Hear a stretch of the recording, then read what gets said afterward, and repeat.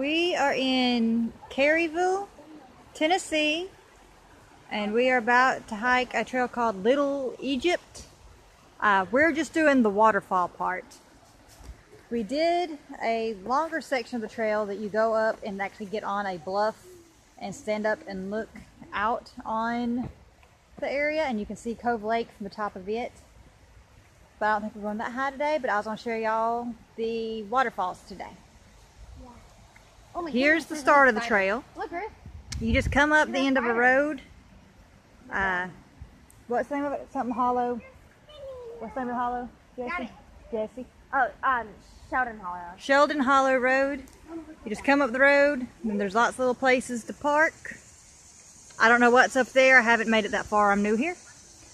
And then you'll see all these little rocks, and you just park wherever, and up the trail you go. Mom, I up a There's the creek.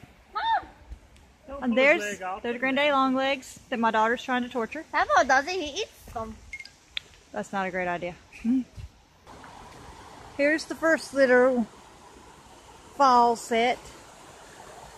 It's a little tiny one. And a random culvert. I think there used to be a road there. I don't really know. Lots of graffiti too. Uh, I hear you can swim in here. A lot of people do. It is really, really cold from what I understand. So we're not going to try that right now because it's I don't know what the temperature is exactly outside right now, but it's not hot. It's not cold, but it's definitely not hot. Here's a little spot. Looks like uh, the other day we came, somebody was camping here, and there was a big pile of trash here then too. So I don't know if they left it or it could have been already there. It looks like an awful lot to have been just the one group. So I'm thinking there's probably commonplace for people to stop. And there's the creek, the little culvert we just showed you is right there. And it's just a little path there, splits off. It's a pretty neat little spot. I really like rocks and things like that. Rock outcroppings near water, just really neat looking to me. Here comes Lovey. Lovey, you want to say hi? She likes all the little bugs and things. All kind of rocks and neat things to look at on the path. Coming up on another little fall. There's more of the stream. Hang on a minute.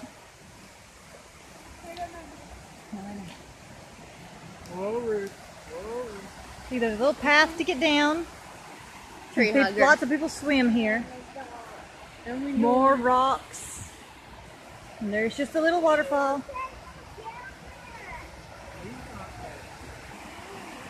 Um, that's far now. Here's the top of the fall. Lots of little places to climb down and play if you're more adventurous. There's a little right here. It's a little, um, steps, kind of. That's all. Uh, no, because Lovey might follow. She's up there. We might explore some of the little turnoffs after we make it to the top part we want to go to. That on the way back down. That way the kids don't get too tired before they make it to the top. You say anything? No. Mossy Rock. We came here, yeah, not yesterday, but The day before Saturday? yesterday. Saturday. We came here Saturday and we went all the way up to the top of the mountain and there was like this big area where you like it's like rocks you- and stuff. I can't think of it. But it was rocks and you could stand on the very edge and you could see like forever. I'm going to try to figure out how to put a picture in of that. Because I've got pictures. Really cool. And there was this guy up there and I get I think he was writing a story or something.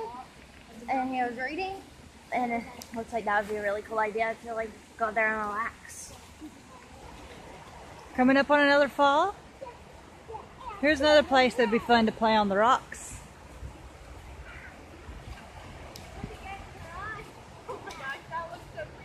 It's a very large rock.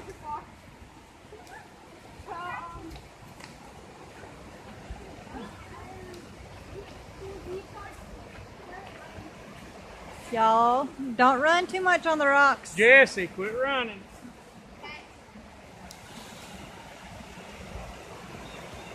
Fall up there. It's a long way down. It's not a super hard hike, but as you can see, it's kind of the slope increases and there's some big rocks. So if you're kind of shuffle your feet, this might not be the trail for you.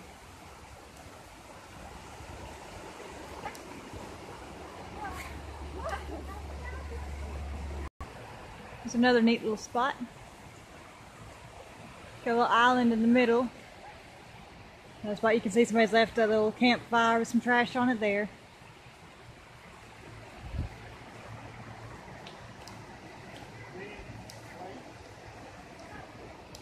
Up here you can tell this was probably a creek bed or it's an overflow area. And I know there's a couple places with little uh, natural springs.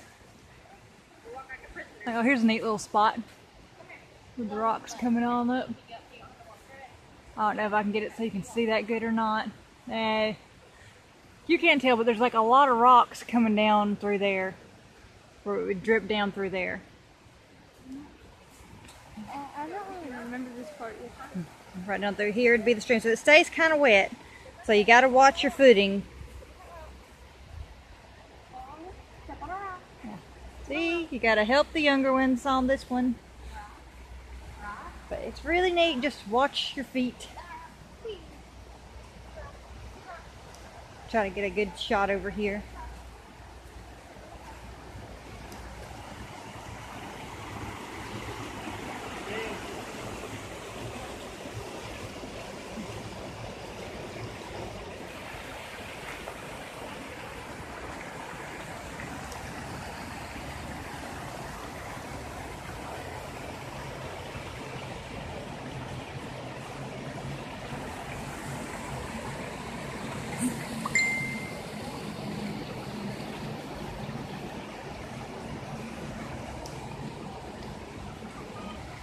It gets a bit narrow here. Some children think they can do it themselves, but they really need to hold a hand. It's a bigger fall.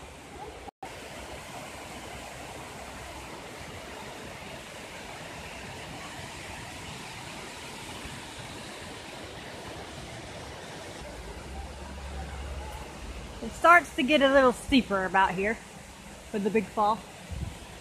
This is about one of the last big falls before the bridge, which is about where we're planning on stopping today.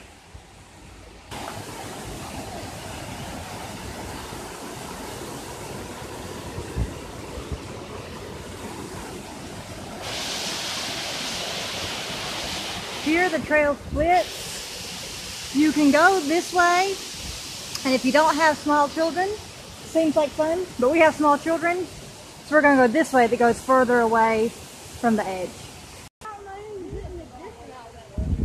We're not in Alabama. Benjamin just said, I thought mountain lions didn't exist in Alabama. Um, we're not in Alabama. Here's a little stopping spot. This is the path we took, comes over this way instead. So it's much more kind of kid friendly. The other path goes down by all this. A lot closer than we are. And we're just not up to that with the small one. Here's the path out.